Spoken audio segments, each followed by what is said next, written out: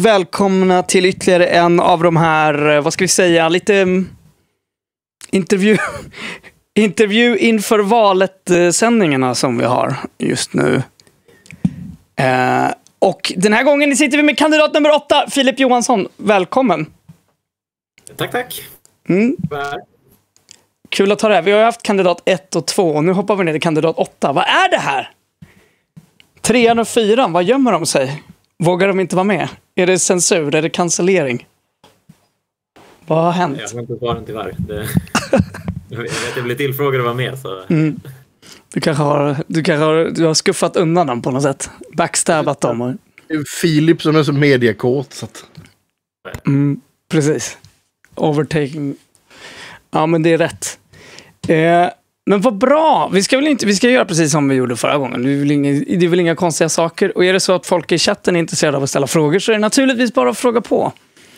Um, det är ju väldigt bra. Uh, jag tänkte, alltså å, återigen det där första. Va, först och främst, liksom, var, vart ställer du upp? Kanske är den viktigaste första frågan.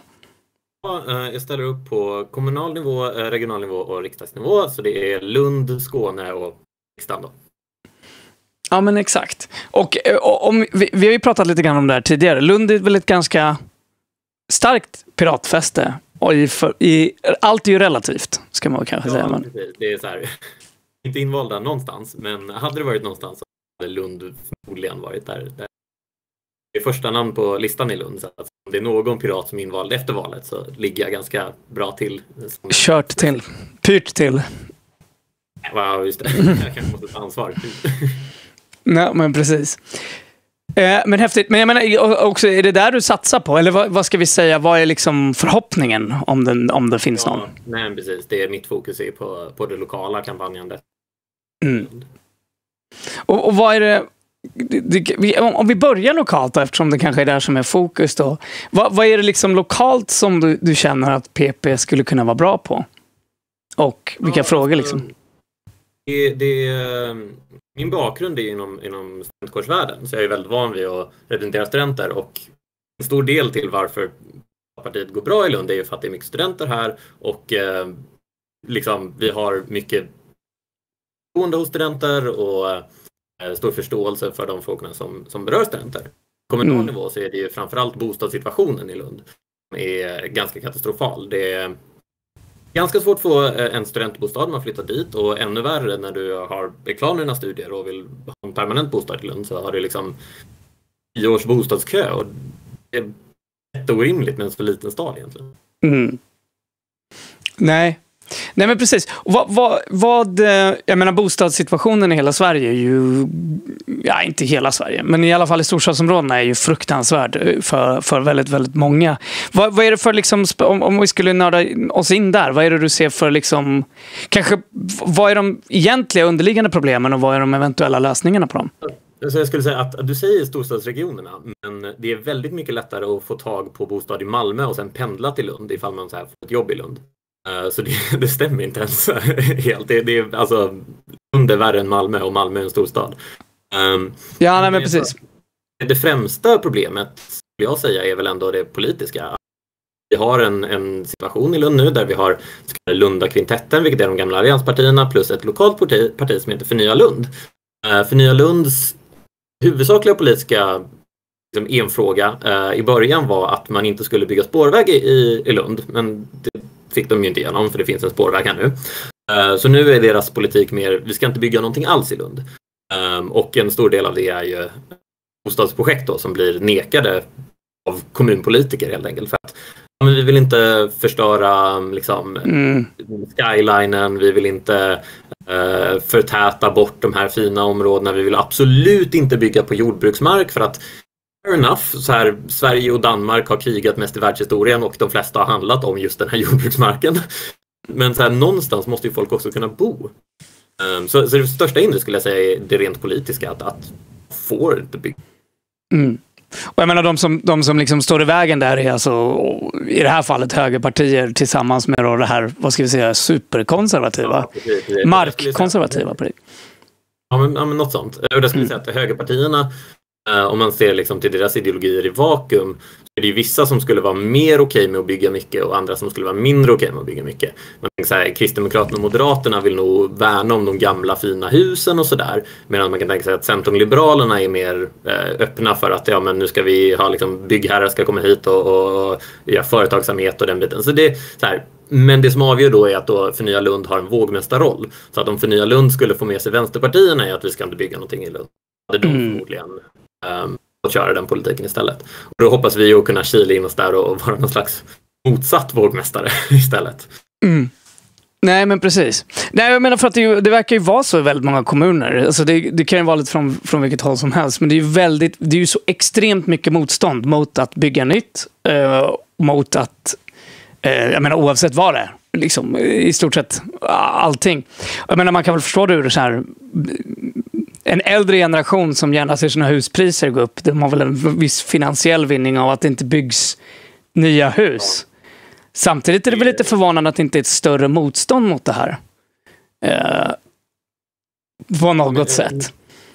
Ja, alltså problemet som vi har, eh, vi vänder oss mycket till studenter, är att studenter har oftast ganska nyligen flyttat till Lund och inte så insatta i kommunpolitiken när de kommer någon annanstans ifrån. Nej. Så då måste man nå, nå ut till dem och, och, få dem att, att sätta sig in också i lokalpolitik. De flesta är väldigt mycket mer intresserade av den rikstäckande politiken. Mm. Det är en utmaning. Um, men jag kan också säga att här, förutom då det politiska motståndet, jag misstänker också att det finns lite samma sak som jag vet Aydin har pekat på många gånger eh, i Stockholm, att, att eh, byggherrar köper mark men så har de inte så bråttom med att bebygga den för att om de väntar lite så kommer bostadspriserna gå upp så då har de tjänat mer pengar på att liksom inte bygga en stund. Mm. Jag skulle också gärna vilja se att man hade någon form av, av eh, regler kring att, att man måste bebygga mark som blir godkänd. Eh, eller så liksom upphör tillståndet eller så återgår marken eller någon form av konsekvens eh, om man inte bebygger mark som man ja, men, syftet. Rätta mig gärna om jag har fel nu Filip, eller du kanske inte kan den här delen av politiken, men om jag söker bygglov exempelvis, jag har en villa med en jättestor tomt och så, så söker jag bygglov för att stycka av den och, och kanske sätta upp ett par attefallshus och hyra ut studenter eller vad fan jag ska göra på den här tomten. Om jag då, nu okej, okay, nu behöver jag inte bygglov för attefallshus, men säg att jag behövde det. Um, jag skickar in ett uh, förslag och får det godkänt. Då ska jag väl ha en, en, ett spann där, där jag ska bygga.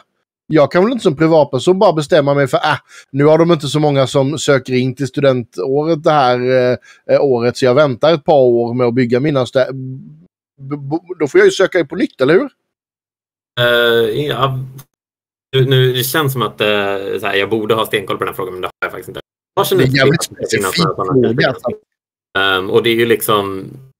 Det har ju varit det som har varit en... Uh, I alla fall från vad jag har hört från Aydin, har, har varit en situation i Stockholm att folk har... Mm. De har börjat dra igång en process Sen så har de medvetet dragit ut på tiden. Jag vet inte ifall det finns några sådana tidsgränser, men de verkar ju inte fungera i varje fall. Nej, men alltså, jag, jag, tror att sådana tidsgränser finns på privatpersoner. Men återigen, som det är i Sverige, att företag räknas inte som... De kan lite som de vill. Um, så att, för att jag, jag vill minnas att farsan satt i en sån sits nämligen. Med, han skulle stycka av sin tomt och så var det någon annan som skulle bygga liksom. Men ja.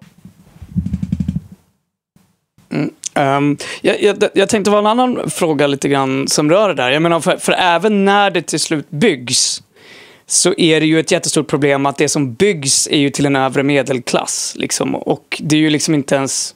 Det slumpas ut ganska långsamt. I alla fall, återigen, den här kommer väl lite från Stockholm, men det är ju inte, det är inte riktigt bostäder till, till studenter som brukar vara fokus. Det är ju inte hyresrätt, eller hyresrätter som tenderar att vara det. Hur, hur, hur tänker du att man kan komma till rätta med, med sånt? Eh, just eh, studentbostäder så har vi ju faktiskt i Lund väldigt kompetenta aktörer som, som tillhandahåller just studentbostäder. Eh, vi har både Akademiska föreningens bostäder som ägs eh, delvis av um, universitetet, delvis av, av studentorganisationer och delvis av Akademiska föreningen som är väldigt intressant specialorganisation men också har koppling till både studentorganisationer och universitetet. Mm. Um, de tillhandahåller de flesta uh, studentbostäderna i Lund. Och sen så har ju också nationerna en väldigt massa. Och jag tror att um, ett av de största problemen för studentbostadsföretagen eller organisationerna är att folk inte kan flytta därifrån. Och folk som rimligen borde vilja flytta ifrån sin studentbostad Mm. kan liksom inte. Vilket gör att, att problemen som finns på den ordinarie bostadsmarknaden liksom skjuts över till studentbostadsmarknaden. Ehm, och, och det får mig att känna att det kommunen borde fokusera på i första hand är att lösa det ordinarie utbudet. Att man sedan kan liksom lossa upp lite på eh, studentbostädernas eh, situation. För att jag tror inte att vare sig eh, alltså, externa privata eh, byggherrar och hyresvärdar eller för den delen den allmännyttiga kommunen skulle göra studentbostäder bättre än de som faktiskt specialiserar sig på det. Och där har vi ett bra utbud i Lund. Jag tror att om kommunen fokuserar på att vi kan lösa den ordinarie bostadssituationen tror jag att det blir lättare för studenterna också. Mm. Nej, jag tänkte bara att ofta gör man inte ens det när man bygger. Jag, jag kommer bara tänka på det eftersom det, det är precis så det ser ut i Stockholm. Mycket av det som byggs sen är för dyrt för studenter. Det, är inte, det, är investerings, det blir investeringslägenheter istället för som, som inte någon med en vanlig lön eh, kan köpa. Utan du måste ju liksom ha kommit mycket väl senare i livet än att vara student. Det, det, det är ju sällan det blir liksom eh, miljonprogramsbostäder eller den stilen av liksom billiga bostäder eh, som byggs nu för tiden. Men jag tror att så här, om vi bara får bostäder överhuvudtaget så tror jag att det, det är en Mm. steg i rätt riktning för att nu händer inte någonting. princip. Eller här, det byggs och så men det är ju ofta saker som godkändes under förra mandatperioden, det som byggs nu. Mm. Eh, Det tar ju tid och, och senaste tiden så har det varit färre än vad jag hade velat som Mm. blivit godkända. Nej, Jag kan tänka mig att man har samma problem i nästan alla studentstäder också. Det är svårt för... Eh, Min, min bakgrund är ju annars inom eh, studentkårsvärlden. Eh, Och Sveriges förenade studentkårer som jag har gjort många uppdrag för har ju en årlig sammanställning av situationen med studentbostäder runt om i, Sverige. Mm. Och kan städer antingen bli på röda listan, gula listan eller gröna listan beroende på hur enkelt det är att få, få Mm. bostad. Um, och sen man började göra de mätningarna så är det liksom Lund och Stockholm som har varit på röda listan varje gång. Till och med Uppsala har varit gula ibland. Mm. Liksom, Nej, jag, för jag kommer ihåg, det här var ju redan ett problem när jag var i Uppsala. Det fanns en, hur länge som helst, 15 år sedan. Ehm, att det var så här, det var skitsvårt att få bostad. Men just det där som du säger också att många av det som ska vara studentlägenheter blir lägenheter för småfamiljer. Så här, som inte kan flytta ut. Eh, som inte har liksom möjligheten att flytta någon Ja, annanstans. Men jag ju också säga att, att småfamiljer kan ju vara studenter också. Det går ju att studera om man har barn. Ja, absolut. Men nu, nu vet jag att det var inte det som många gjorde. Eller många låtsas studera eller drar ut på studenttiden fast okej, de studerar ju inte. De jobbar ju egentligen och gör annat egentligen. Men att man ofta så här tvingas in i väldigt, väldigt, väldigt specifika lösningar just på det där som du säger. att Var ska man flytta? Det finns ingenting att, att flytta till liksom. Det problemet som man försöker lösa det många gånger är ju att man har väldigt hårda liksom, kontroller på vem det är som pluggar och inte och hur mycket de pluggar, hur mycket de presterar. Så man börjar liksom säga att ja, nej, men om du pluggar eh, halvtid så är du inte tillräckligt mycket student för att bo kvar här.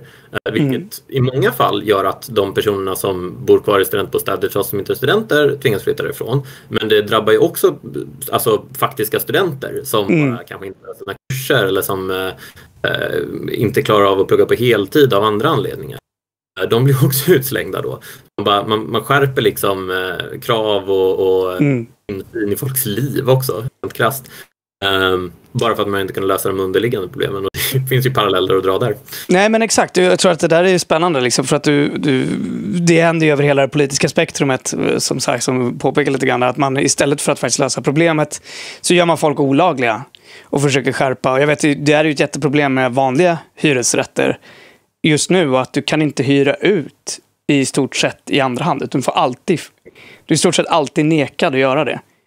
Vilket naturligtvis leder till, för att, för att du, du hamnar i ett jättespännande läge då om du ska vara borta ett år. Att du inte kan...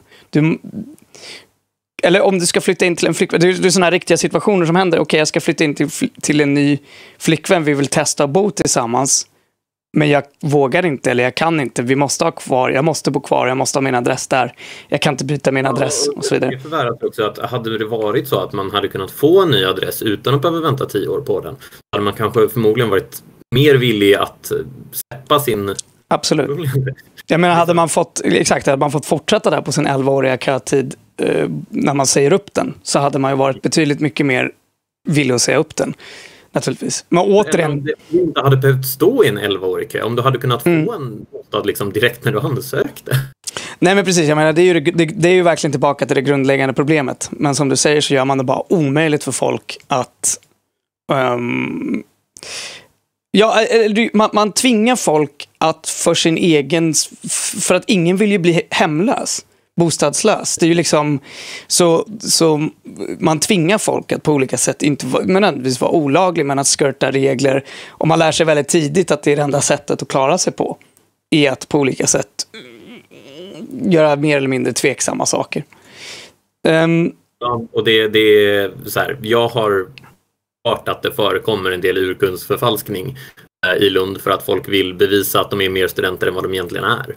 Mm. Um, det är inte jättebra när folk så begår ganska allvarliga brott bara för att inte bli hemlösa. Nej, det är en fruktansvärd situation. Och det är det ju verkligen. Att skicka poliser på, på, på, den, på den situationen är verkligen, som du säger, lite en analogi för hur vi löser alla samhällsproblem just nu. Um, ja men spännande. Så bostadsfrågan är en stor där och sen så uh, finns det något mer som du brinner för? Ja, Många av de frågorna som, som Piratpartiet eh, liksom arbetar för är ju på ganska hög nivå. Um, och vissa av dem går, att, går att spegla neråt. Um, jag vet Otto är här så kan ju nämna cannabisfrågan. Um, och, alltså så här, där går det inte att legalisera på kommunal nivå. Men man kan ju ändå liksom föra en dialog med Polismyndigheten. För så, som det är i Lund och Uppsala så kan man ju dricka på allmän plats. Mm. Det är fortfarande väldigt olagligt att röka på allmän plats. Även om du egentligen inte utsätter någon för något obehagligt. Um, så man hade kunnat ha en, en mer chill attityd här mot, mot uh, alltså, säga, offerfria brott. Så. Mm. Uh, det är en, en väg att gå. Um, en sak som ingen annan riktigt pratar om. Så lyfta in. Um, jag kan ju också säga att, att senaste fyra åren så har också antalet övervakningskameror och eh, vakter och den sortens mm. personer ökat ganska avsevärt i Lund. Trots att vi är i eh, MSBs och eh, kommuner och regioners eh, årliga mätning av trygghet i, i Sverige så är vi den eh, tryggaste staden av den här storleken. Som delar upp det i liksom, kategorier och den tryggaste i, i vår kategori är just Lund. Och trots det så vill man ha mer kameror och mer vakter. Jag vet mm. efter att det var ett bråk vid stationen som ni kanske känner till. Um, så har det liksom varit ordningsvakter där varje dag i princip och, och mycket mer. Och också eftersom det var um, bränder vid några skolor för 2019, 2018 um, så har nu Lunds kommuns skolor, jag tror 100-200 kameror installerade. Mm. Um, och liksom spanar på barnen. Men det har inte varit några bränder på över två år. Varför är de kvar? Mm. Det, det, är väldigt knepiga grejer för en kommun som leds av Liberalerna. Mm. Nej, men det är väl lite, det, det är ju som sagt återigen uh, känns det ju väldigt symptomatiskt för uh, det här övervakningssamhället som man, som man bygger upp uh, för att få folk att känna sig trygga Fast det oftast inte så här.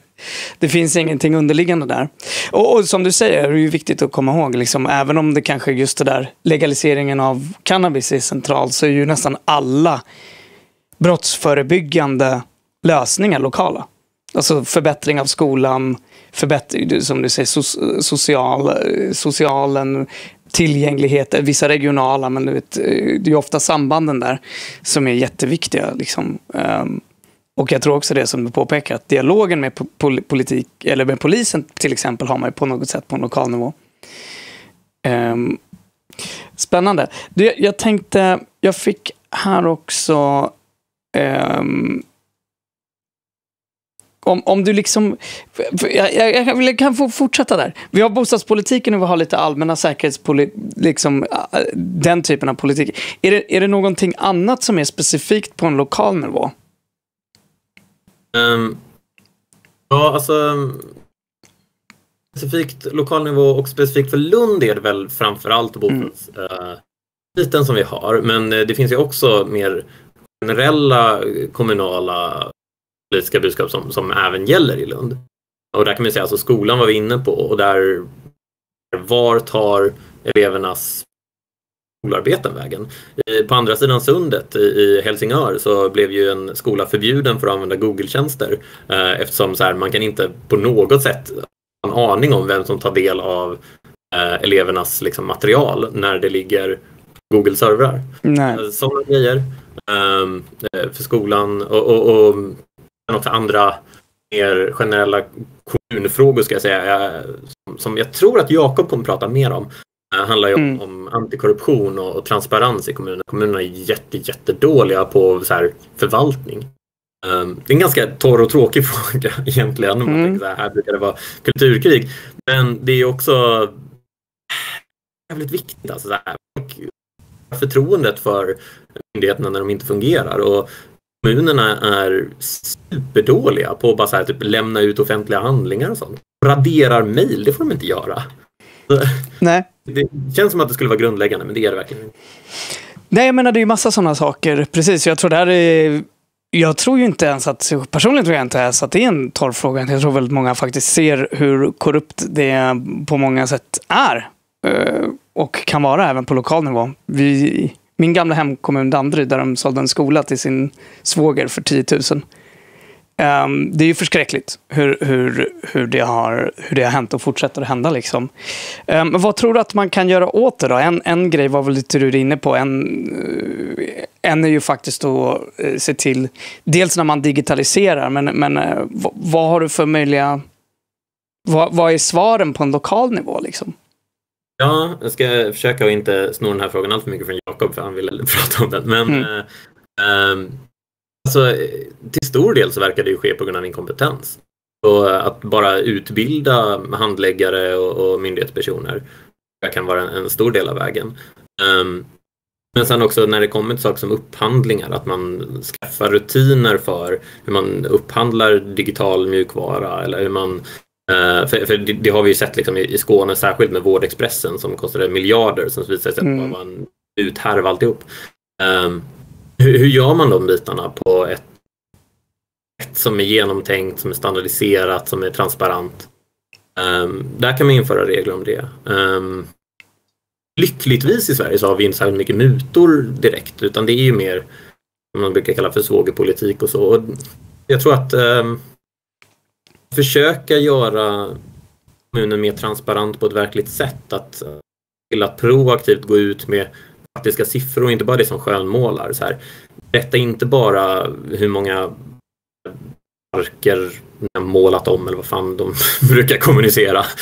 Mm. Utan så här, berätta även när saker inte funkar. Och, så, att man faktiskt kan få en insyn och man kan kritisera um, det som kritiseras bör. Det är det transparens egentligen är. Mm. Alltså, lite sådana bitar. Jag Försök att inte sno. Ja, nej men precis. Eh, nej men vad bra. Men där har vi ju tre som jag tror både, och några av dem där lyfter ju väldigt väl till, vad ska vi säga, är, är väldigt, alltså man, man kommer behöva ha en närvaro både kommunalt, regionalt och eh, centralt liksom. För att man ska kunna komma till rätta med dem. Jag tror just transparensfrågan är ju en sån grej som är svår eller eh, ha, nycklar till, till lösningen finns, i, finns liksom över hela spektrumet så att säga. Um, men om, om, vi rör oss kanske då till mer, eh, för du ställer ju upp, eh, jag vet inte om du vill flytta till mer regional politik eller till, till Sverigepolitiken eh, direkt? Vi kan gå igenom den regionala om du vill. Mm. Ja men exakt, ja, regionala rör ju sjukvården, jag antar att det är lite likt där. Alltså det är ju också en väldigt transparensställe om man säger så. Precis. Väldigt mycket korruption som sker i Sverige sker också på regional. Ehm, men annars så det som sker är ju kollektivtrafik och vård eh, i princip.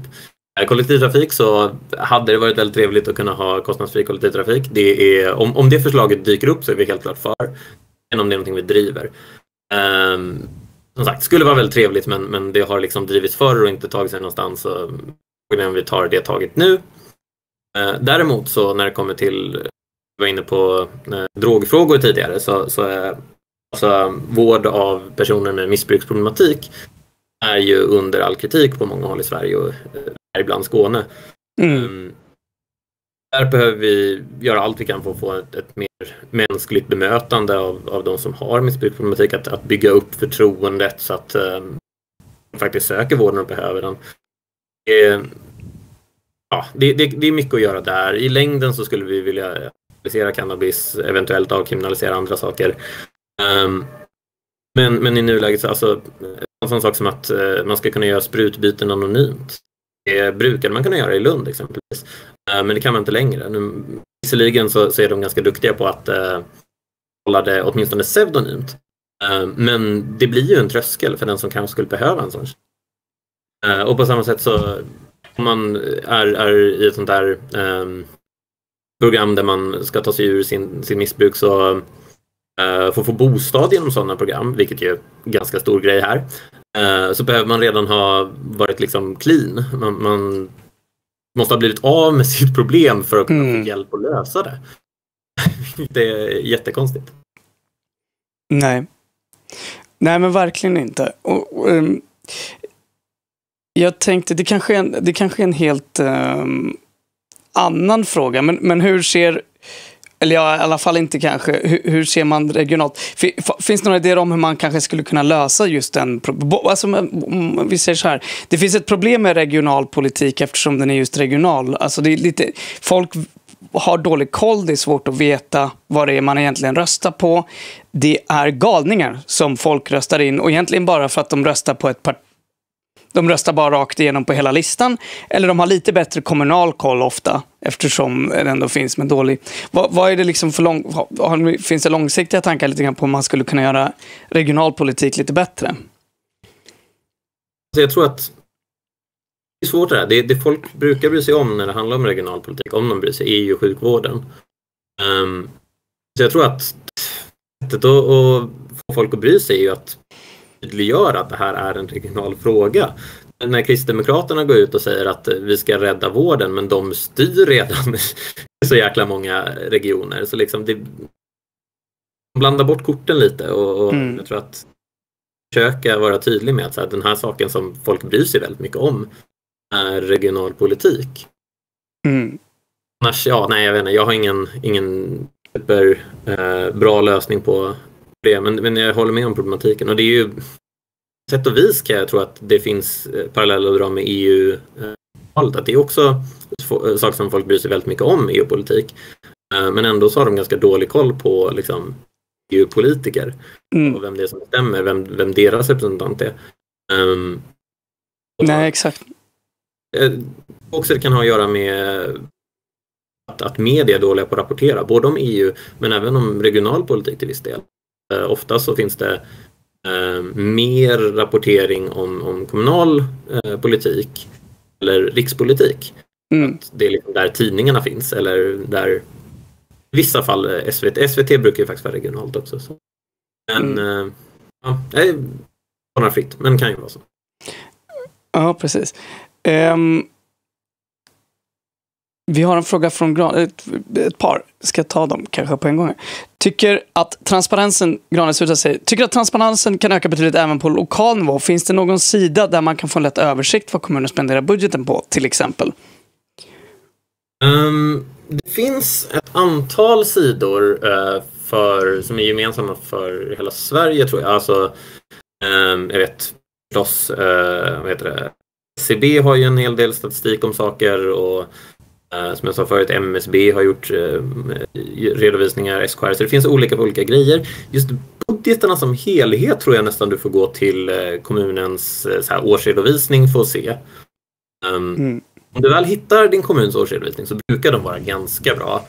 I alla fall förklara de övergripande fördelningarna. Men mm. kanske det inte säger så jävla mycket för liksom, gemene person att så här, ja, nej, men vi har jag vet inte, 500 000 till tekniska nämnden här året. Jaha, vad gör de då? Så, ja. Mm. Det, det, men det tror jag i alla fall är rätt väg att gå. Jag vet inte om det finns sammanställd. Det finns andra saker, ganska mycket sammanställd eh, politik, men sen så, eller kommunstatistik.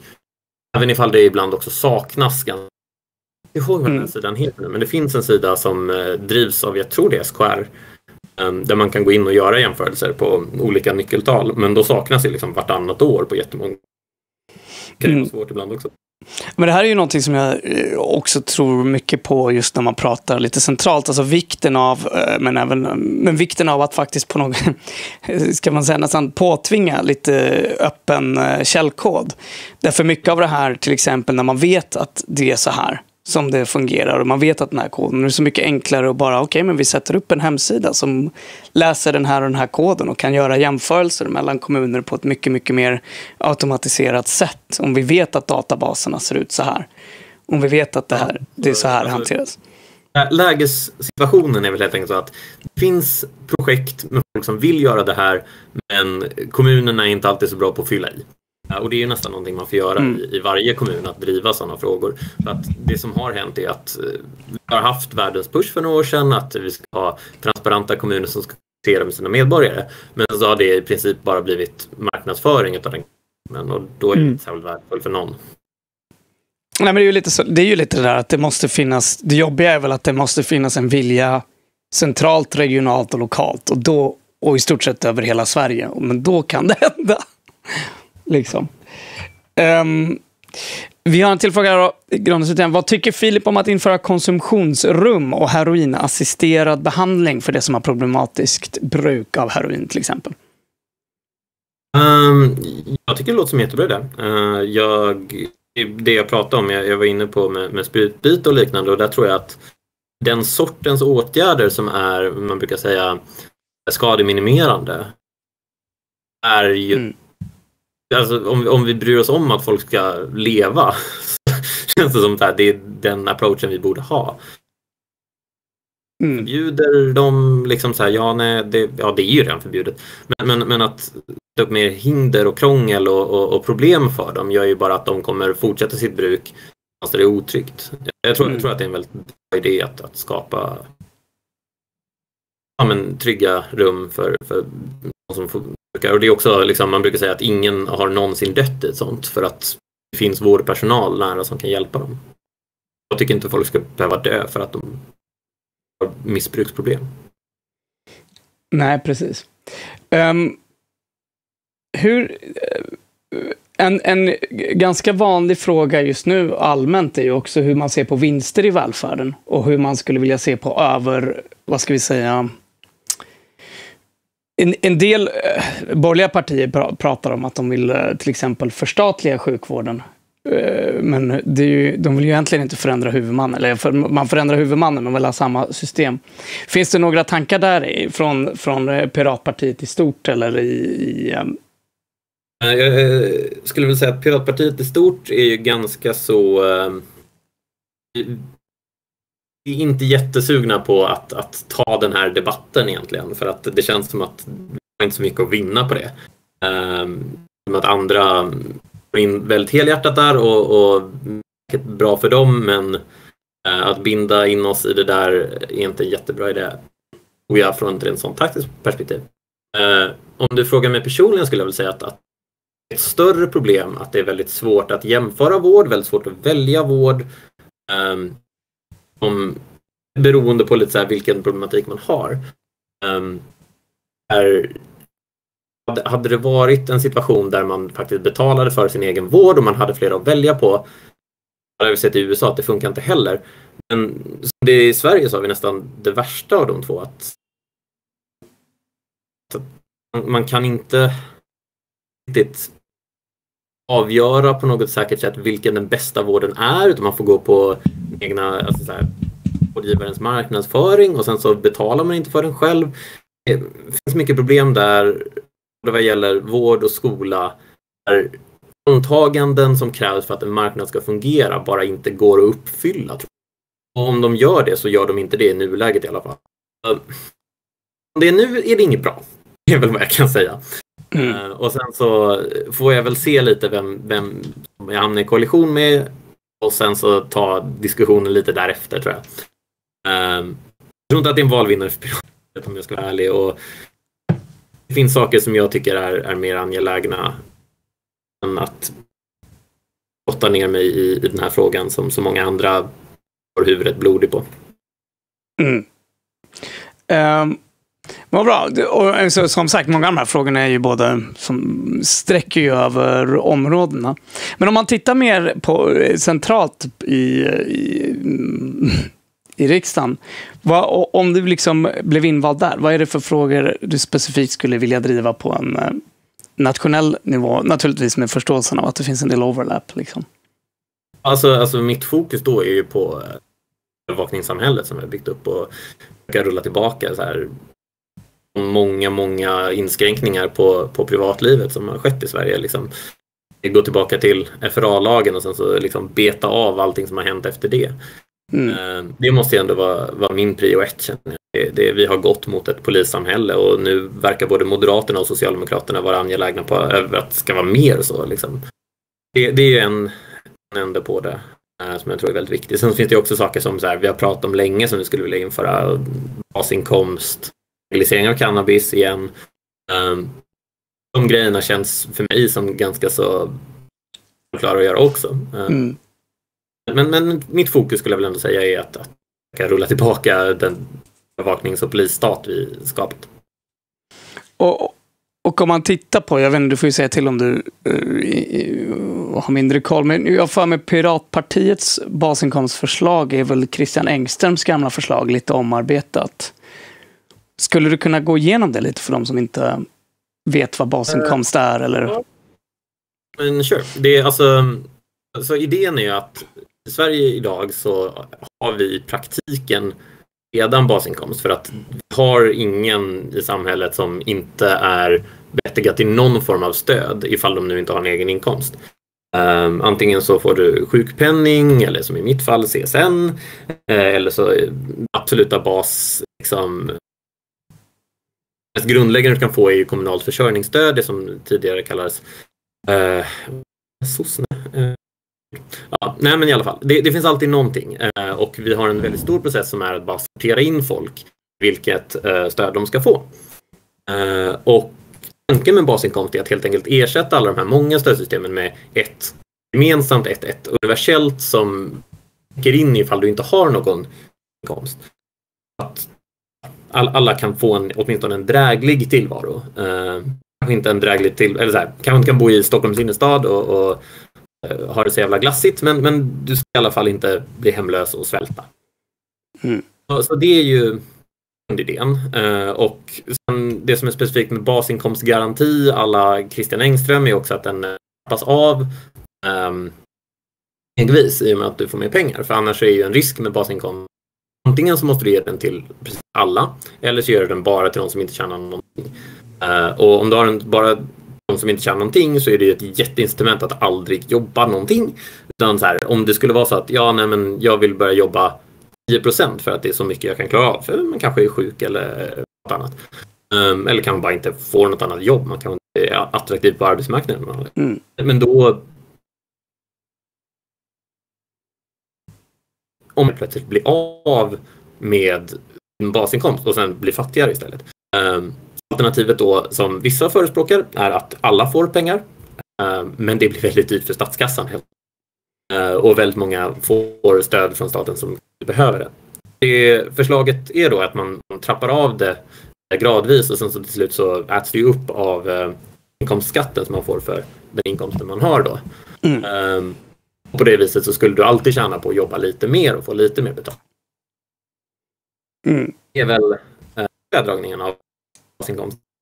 Vad, är det för summa som man tittar på per månad? Ja, eh, den har ju räknats om sen originalförslaget kom. Jag tror att först sa man 8000 men nu är det väl 10 eller 12 något sånt där. Mm. Ungefär det man får om man är student och får CSN. Det är väl så här ballparken. Sen det är svårt att, att säga en exakt summa så här i, i förväg eftersom skulle behöva ha ganska mycket utredningsmaterial på fötterna eh, för att faktiskt införa det här systemet. Mm. Det är ju ganska samhällsomvälvande så att, att säga en exakt summa i förväg är svårt. Nej, men precis.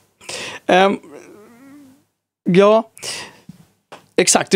Man kan väl säga det, den här, det här förslaget går väl att hitta på hans blogg, va? Gör ni inte det för de som är intresserade? I alla fall ett ganska bra utförligt eh, förslag. Um, Någon kanske kan slänga in den i chatten sen. Jag tänkte, om man tar den här frågan då och vänder lite på det. Du kan ju stanna i, i, i något som du tycker är intressant också. Men varför ska man rösta på, på just dig? Om, man nu, så här, om, om du skulle vilja säga något som är så här, okej, okay, kryssa inte Otto, kryssa mig liksom. Um, på riksdagsnivå så för all del kryssa Otto. Um, jag är absolut eh, piratpartist men jag tror att jag är också ganska så standard eh, piratpartist. Jag, jag, jag, ser inte att jag har någon övertag över typ Katarina som är nummer ett på listan. Mm. Eh, däremot så det jag har är att jag, jag fokuserar ju på alla politiken i Lund. Där skulle jag säga att, att ställa in mig där. Uh, för att dels så har jag ju en väldig erfarenhet av att representera studenters intressen. Uh, och jag tror att de som kommer rösta på mig kommer förmodligen vara studenter eller i alla fall nyligen varit studenter. Mm. De allra flesta. Um, och jag tror också att om vi får en uh, bas någonstans, liksom, vi har invalda någonstans i Sverige, så kan vi samla oss kring det och bygga en starkare piratrörelse till nästa val. Mm. Pessimistiskt sagt, men jag tror inte att vi klarar 4 spärren i år. Um, med det sagt ska jag också säga att rösta gärna på oss på riksdagsnivån då, för att det är inte bara 4 spärren som är relevant. Det är andra spärrar som är exempel för att få partistöd och så. Uh, och dessutom så får vi lite närmre att få plats i media uh, om vi kommer närmare spärren också. Mm.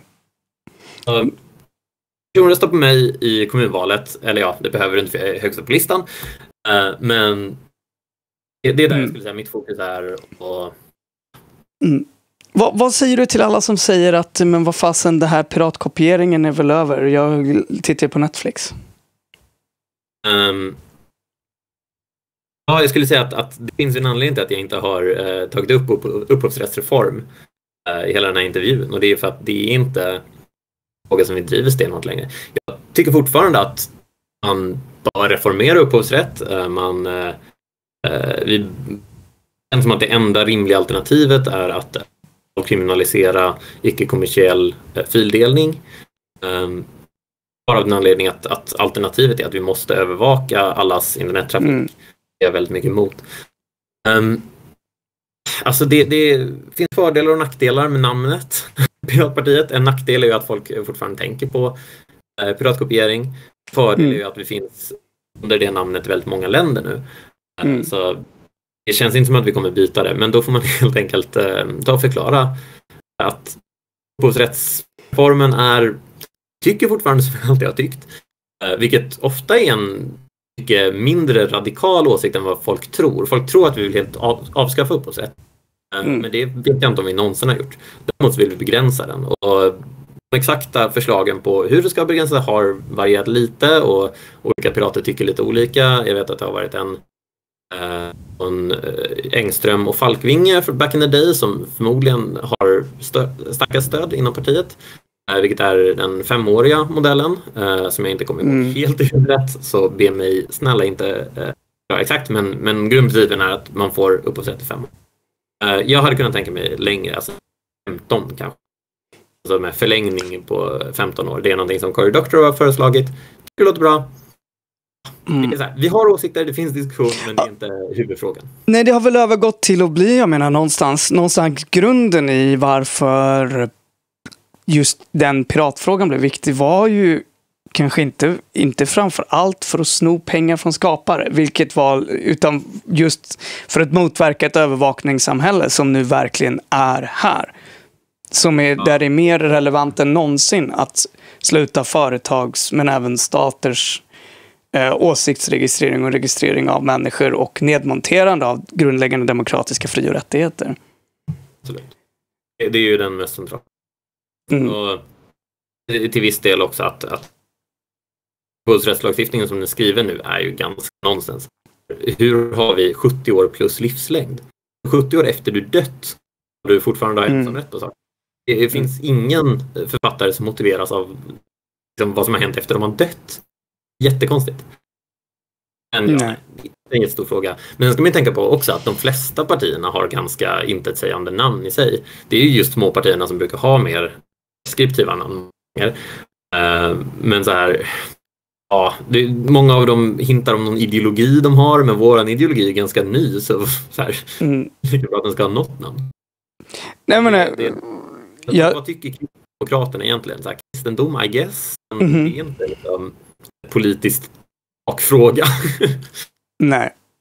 Nej, och någonstans, jag menar, jag, jag får ju liksom, vad ska man säga, i, eh, i eh, anknytning eh, samma fråga, men jag tycker Piratpartiet, alltså om man funderar på vilka Piraterna var, eh, alltså, eller hu- hur de levde i alla fall, flera, så är det ju en bredare, det är ju en bredare ideologisk tankegång.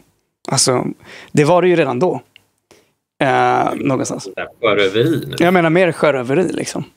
Ja. Så att, Det, det- är ju egentligen ganska orelaterat, men det finns ju absolut eh, några paralleller man hade kunnat dra. Mm. Men, eh, men för, för jag, jag vill ju komma in på det för någonting som jag tycker är lite häftigt, lite, som du bara får kanske förstärka det du sa lite grann också, att man kanske inte det hade ju varit kul med 4 procent, men det har ju skett ett otroligt arbete under de här eh, åren eh, som jag har följt lite grann. Nämligen att man har breddat politiken. Alltså vad är piratism egentligen? Är ju frågan. För att det är ju, någon, det är ju, någon, det är en bredare eh, politik som finns och som framförs av eh, Piratpartiet. Men det har ju också varit en, kanske vad ska vi säga, en, en kamp för att få fram den också. Som har skett. Ja, nej, verkligen. Och det är ju eh, förstås eh, svårt att eh, på ett snabbt och enkelt sätt sammanfatta liksom en, en ideologi, vilket det ändå är nu. Men jag skulle säga att någonstans är det väl grundtanken att information är makt. Vi vill att makten ska placeras hos medborgarna och inte hos som en central stat eller, eller hos um, våldsmonopolet nödvändigtvis. För i dagsläget så har ju den informationen förskjutits att, att ehm, till det att det, det är staten som har information om medborgarna istället för att medborgarna har information om staten. Vi vill vända på det förhållandet.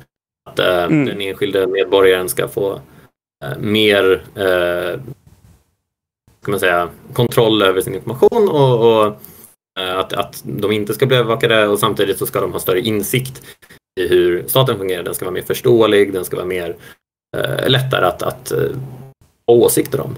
Mm. Så att många av de andra problemen vi ser skulle kunna skulle i alla fall kunna få en bättre diskussion om många frågor. Mm. förstod hur liksom, Sverige fungerar. Um, så det är väl en stor del av det. Men sen också medmänsklighet antar jag. Eh, Så här, tron på ett, ett stabilt rättssamhälle där man är eh, oskyldig till motsatsen bevisats. Sådana Mm. saker trodde jag inte skulle behöva vara en del av piratideologin men utvecklingen som sker nu har ju gjort det väldigt tydligt att det, det behövs. Mm. Nej, det, det, jag håller med om det. Det blir mer och mer tydligt att man måste försöka säga uppenbara saker. Och sen typ förklara dem som människors lika värde. Det är så här, ja men måste vi, vi måste förklara det också. För det verkar som att en del inte förstår varför. Och och sådana saker. Ehm, jag tänkte, vad, vad, vad är det för största, om du skulle säga så här, vad är det för största utmaningar eh, liksom, vad, om, du, om du skulle lista de största, liksom, kanske globala, men nationella, liksom, de största allmänna utmaningarna som vi har att försöka lösa inom de kommande tio åren. Eller lite, ja. Liksom Så- stora samhällen. ja om, om vi nu liksom dra, lyfter det hela vägen Ja. Ehm, upp. Liksom. Jag skulle vilja säga att jag ser en, en, en spring i samhället som jag gör mig väldigt oroad. Ehm, och, och eh, att folk inte riktigt kan prata med varandra över um, biologiska gränser. Det blir väldigt infekterat klimat så från det rent politiska. Det är också eh, en väldigt mycket mindre tillit till eh, till det offentliga, till eh, myndigheter, vilket till stor del tyvärr är liksom, med all rätta som folk inte litar på myndigheterna längre. Men det är också sånt som leder till väldigt jobbiga situationer där, där folk inte litar på varandra och det är väl en stor grej. Folk litar inte på Mm. varandra och beskyller folk, grupp, grupperingar av folk alltså så här, för, för alla världens problem. Det, det, alla lever tillsammans. Mm. när du ställer så stora frågor så får du stora svar. Ja, nej, men det, det jag, jag håller med. Jag tror att många, många upplever väl det eller ser det. Det är ju kanske lite förenklat kan man väl säga. Det är väl någonstans liberalismens fall, i alla fall om man ska säga det här 90-tals efter eh, Sovjettidens fall, den här ganska grova nyliberalismen och en form av omformulering av att det kanske inte... Vad gör man nu liksom? Vad händer nu? Vad är nästa steg? Det kanske inte blev så bra. Kina blev inte demokratiskt och världen blev inte... Strukturerna, gamla strukturer sitter trots allt kvar och vi har mycket sånt. Och på, på kanske på en lokal nivå också att många människor upplever att de har fått det sämre. Uh, och just det där som du säger. nödvändigtvis är problemet där, men det var ju uppenbarligen inte en tillräcklig lösning kan vi se mm. på de problemen som finns med antidemokratiska rörelser, alltså demokratisk backsliding, Ungern, Polen och så vidare. Där, ja, nej, de har marknadsekonomier till största del men uppenbarligen så verkar inte det göra tillräckligt mycket skillnad eller någon alls kanske. Nej, nej det fanns väl en idé om att den, de liksom hörde ihop Mm. Som att bara man handlar med varandra så blir alla demokratiska och får typ sunda värderingar. Eh, jag råkade förvirra chatten här när jag sa, du sa naturligtvis inte biologiska gränser utan du sa ideologiska gränser. Men det lät, det lät lite som du sa biologiska gränser tidigare. Ja. Eh, men det var alltså inte det. Kanske överlappar i typ transfrågan. Eller mm. det, det, exakt, diskussionen är svår över den biologiska gränsen. Mm, ja, det, what? Sus-uttalande. Alltså, Exakt. Jättekonstigt. Märkligt det där. Bakterier räcker jag inte alls på när jag säger att de ska lämna mig i fred. Är, um, tvättbjörnar. Eh, jag var på en stream med en tvättbjörn en gång. Jag var helt uh, från vettet. Mm. Vi har fått en annan fråga här också. Hur fick du tag på Olof Palme av från chatten? Det, det, jag tror att det är min gode vän Hult som uh, Mm -hmm. Hur du fick tag på att intervjua mig, eh, en ung Olof Palme. Ja, ja exakt. Då får jag fråga dig, hur fick du tag på mig? Mm, ja, det är via Piratpartiet. Jag föreställer att det är någon åter, återuppstådd... Du kanske föddes där? Ja, det är lite efter. Det, finns, det fanns några år av ingen Olof Palme, antar jag. Um... Det var lite kul, jag hade ett uppdrag åt eh, Sveriges studentkårer så var jag uppe och kollade i deras arkiv och där var det väldigt mycket från så här talet med Palme, jag tror jag har berättat det här någon gång, att um, han var ju, redan när han var student så var han ju en väldigt inflytelserik person. Han mm. hade liksom um, samarbete liksom internationellt för studentfrågor som sedan blev infiltrerat av CIA och eh, mm.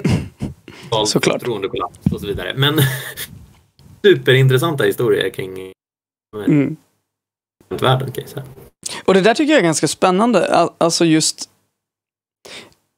bara just den typen av infiltrering eller vad som hände under kalla kriget eller delar av vår historia som är så jäkla viktiga och bara förstå att det händer idag också. Mm. Um, ja, alltså just hur, hur politisk påverkan fungerar och hur den ser ut och hur mycket pengar som läggs på det. Alltså just det där vi pratade om, lite där korruptionen. Det känns fortfarande som många inte vet om det. Det är att, att äh, ge sig in för mycket i, i, den sortens retorik om man inte har väldigt goda belägg för det. Då. Um, och det kan man ju säga på, på den tiden som det rör sig om så hade de väldigt, mm. väldigt goda belägg för att det var en CIA-fråga i och med att så här, läckte från CIA att det var så. Um, och det var liksom väldigt, det var ju därför hela den organisationen kollapsade. Um, mm.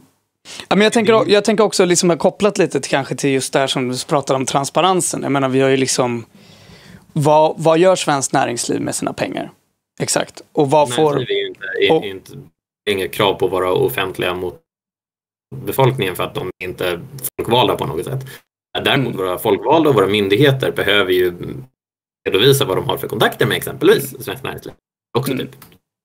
Så här, jag har ju sett själv, jag har varit den som har påverka, eh, inte bara politiker men direkt liksom myndighets eh, inte myndighetsutövande kanske, men, men någonstans mellan de bes politiska besluten och hur myndigheter arbetar så finns det också lager av tolkning och där har ju bland annat alltså, Föreningen studentkårer haft, haft möjlighet att liksom komma med input och sen så har det lett till att saker utvecklats på ett visst sätt. Alla de där grejerna är ju helt omöjliga för, för vem som helst att, att förstå sig på eller sätta sig in i. Um, mm. Och nu säger jag att SFS gör det här för jag tycker att det är ganska bra att SFS gör det. Eh, men frågan är så här, vilka andra vill vi ska ha liknande relationer med vilka myndigheter? Mm. Nej men jag tycker, eh, någonstans är ju verkligen, jag menar jag vet inte riktigt om jag tycker att man ska få vara och hur, på vilket sätt man ska få bedriva lobbying och på vilket sätt man, den typen av karens ska se ut mellan politikerlivet och lobbyingen till exempel. Eh, och bara hur svårt det kan få vara att bara få ut en siffra på hur mycket som läggs på politisk påverkan. Alltså det är ganska konstigt och, och Sverige har ju väldigt, väldigt avslappnade lagar vad det gäller det här. Till och med om man jämför med USA, eller EU för den sakens skull. Jag tror att det viktigaste är nog ändå att, att faktiskt försöka få transparens återigen i det. Att mm. man ska kunna veta vad det är som föregår. Uh, och sen så när vi väl vet hur läget ser ut så kan vi prata om vad vi gör åt det. Det känns inte jättebra heller för att, att begränsa vem som får prata med varandra. det känns lite problematiskt. Uh, Nej, men det tror jag nog ingen pratar om. Jag tror att just det handlar väldigt mycket om just det där att faktiskt kunna överhuvudtaget få tillgång till information. Och inte att den eh, liksom bara, vadå, nej men det är ju affärshemlighet. Så här. Nej, men inte i den, just den här typen av information kanske inte får vara en affärshemlighet. Utan det kanske ni måste ja, publicera. Det där med affärshemligheter är väldigt spännande om vi backar bandet ganska långt och går tillbaka till kommunfrågor och skolan. Och, mm. och du var inne också på, på eh, marknaden och, och, och det här. Ehm, är ju att privatskolor har ju, eller privat, heter det så? Mm. Men eh, ja, privatägda friskolor. Friskolor. Mm. Ehm, friskolor har ju många gånger skydd av affärshemligheter. För saker som så här, men vad ger ni för snittbetyg till eleverna? Eller vad har ni liksom för eh, ja, processer på olika sätt som där man kan ha den sortens insyn till större del i alla fall i kommunala skolor eftersom de är offentligt ägda. Men för skolor så är det väldigt mycket som täcks in av eh, att, att det liksom är affärshemligheter. Och mm. i så fall så är det ju ännu svårare för den som vill välja skola åt sitt barn eller, eller egen hand välja gymnasieskola. Det finns ju ingenting att gå på då ifall allting är hemligt. Och då fallerar ju hela den här principen om att via skolvalet ska man göra utifrån vem som kan ge bäst utbildning. Men man har ingen aning om vem som ger bäst utbildning för det är hemligt. Mm. Det är fullkomligt bakvänt. Ja, nej, men verkligen. Och det är, ju, det är ju värre än så eftersom man inte ens kan utvärdera. Alltså, en, en sak är väl att de kan hitta på lite häftig marknadsföringsinformation till föräldrarna. Men det är också väldigt svårt att utvärdera vad det är man köper som kommun. Så vi kan inte ens fråga våra kunder vad vi köper. och det är hemligt. Det är hemligt vad vi köper. Bara just say. Okay. Och sen pratar pratar om liksom offentliga upphandlingar. Eh, som en kommun upphandlar eh, vad som helst egentligen. Eh, och sen så blir delar av det de har eh, handlat, det är någon tjänst av något slag, täcks av affärshemligheter. Det är också jättesvårt för alltså befolkningen, medborgarna att veta vad är det mina gå till för att hela av det de går till är hemligt. Mm. Det är jättebakvänt. Jag tycker att offentliga medel ska gå till lite granskningsbar verksamhet. Mm.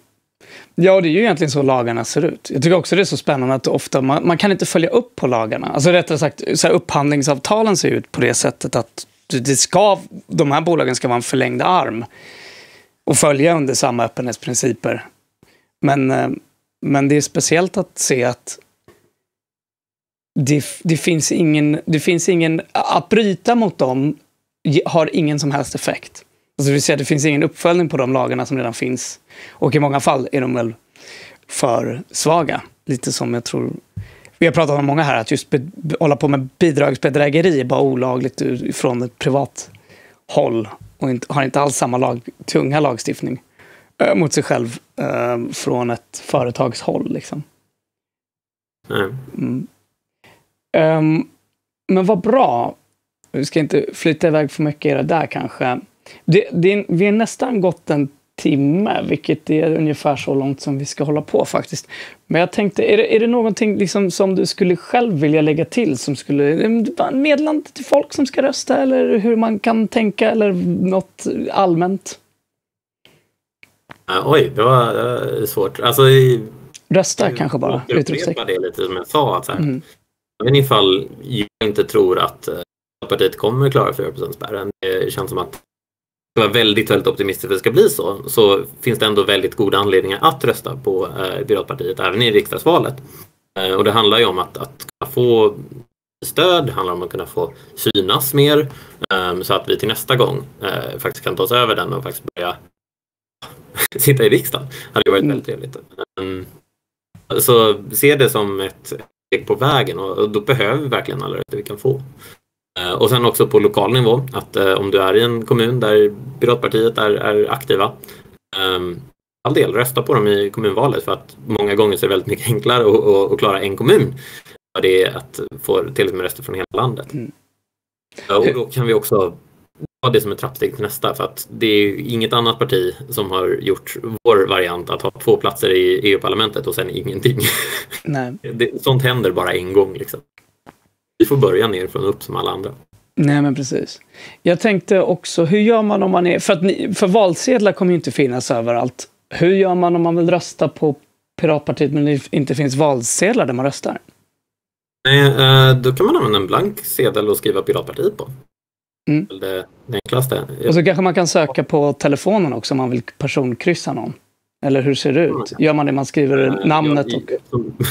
Ja, min fokus har ju varit på det lokala och jag ska banne mig se till att det finns valsedlar mm. i Lund. Eh, så har jag inte läst på exakt hur man gör. Eh, så det är nog bättre att ni frågar typ namn 1 och 2 på, på listan. Jag tror, vi, jag tror vi gjorde det. Vi vet att man kan i alla fall skriva, men nu kommer jag på den där frågan att kanske man vill personkryssa någon.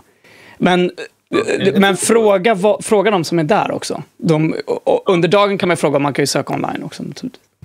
Ja, det, de man kan eh, personrösta på för Piratpartiet är också de som finns på den valsedeln som är på myndighetens hemsida. Eh, mm. Du kan inte skriva Piratpartiet och sen eh, Hanif Bali. Nej men så här, det, det, Nej. du får, får, skriva någon av våra kandidater annars så tror jag att valsedeln kan till och med vara ogiltig. Men det enklaste sättet är att ta en blank mm. valsedel och skriva Mm. Nej, men vi ska gå igenom det där också innan valet eh, på, på PTV så att vi eh, så att vi är tydliga med det där eftersom det är säkert en hel del som vill göra det där så att man inte gör det fel. För det är jättetråkigt och få en ogiltig röst. Och det där vet man ju inte. Liksom. Man kan hålla på och göra ogiltiga röster jättelänge. Och det kan vara väldigt viktigt att göra dem där rätt. Eller jag det är det. Um, här, det är, min, min, främsta call to action är ju att um, stå på Piratpartiet om man bor i Lunds kommun. Eh, mm. Och då är det ganska enkelt att göra för då ska det finnas valsedlar och du ska bara behöva stå med mm. Du kan Precis. också om du vill. Ni som är i Lund, no problemos. Det kommer komma många så här arga, ni, ni glömmer, kanske glömt någon vallokal. Kommer det komma mycket hat. Ja, det får jag väl ta det. Mm. Uh, Nej men vad bra. Eh, vad kul att du kom förbi. Alltså nummer tre då efter Katarina och Mattias som var här. Vi har faktiskt... Jag kan väl passa på. Ja, alltså du är nummer, du är nummer åtta men nummer tre i listan okay. av eh, nummer, pirater. Nummer tre idag. Ja. ja. Jag kan påpeka det också, eh, bara för att jag fick en lite ställd kommentar innan. Eh, Filip är en av de piraterna som jag brukar rådfråga när jag undrar är X piratistiskt eller liknande, vad jag kan ha för dum fråga. Mm. För den endorsementen. Det var... Ja, um, ja nej, jag... Och imorgon, imorgon så kommer väl... Gud, det här ska jag ju ha koll på. Men vi, det är Jakob som, kommer imorgon, så då kanske det blir mer transparensfrågor för de som är intresserade av det specifikt det. i detalj. Eh, jag, jag, försökte att eh, hålla oss borta mm. från det, men jag tror att det blev rätt mycket av det ändå. Han ville mala på rätt mycket. Ja, nej, men vi kan, vi kan verkligen gå ner mycket mer i detalj i, i den frågan naturligtvis, för att det, så är det ju. Och sen dagen efter det så har vi ju Otto här, tror det eller ej. Det är ju ovanligt. Yes. att Otto är med. um, och eventuellt... lite då då. Ja, kanske till och med från studion. Vi får se. Um, med dem... Alltså, han har AC och, och, han har lockat med att det finns möjlighet nu så det kommer bli studion. Ja. AC i studion? Ja. Oh yeah, oh yeah. Ja, så det är inte omöjligt um, att det blir så. Jag kan säga Ja, nej men det var väl det. Jag vet inte hur vi, riktigt hur vi gör ikväll. Jag har suttit och streamat ganska länge redan nu. Både SIF och, eh, och det här. Så vi får se. Jag tänkte gå och käka lite Uh, om vi streamar senare ikväll så är det nog bara lite musikstream och så sparar vi nyheterna till imorgon. Eller vad säger du Otto? Alltså, jag hade tänkt hoppas att kan inte du komma tillbaka i alla fall en timme? För SD-Tobb har varit på Twitter eh, och rört runt med både Morgan Johansson och Annie Lööf. Och, alltså det är rätt stort. Okej. Eh, Tunnelbanetågen. Så Ja, men- jag känner att vi, vi behöver... Okej. Alltså, Tadul är inkluderad också. Mm. Ja, men ska vi göra det? Men då säger vi klockan nio så går jag och käkar. Ja men gör det. Vi går klockan nio så kör vi en kort stream. Eh, med där vi i alla fall avhandlar det. Och ehm, ja, annars är det väl bara som vanligt och önska en glad påsk till er allihopa. Hej, hej. Tack så jättemycket. Hej då.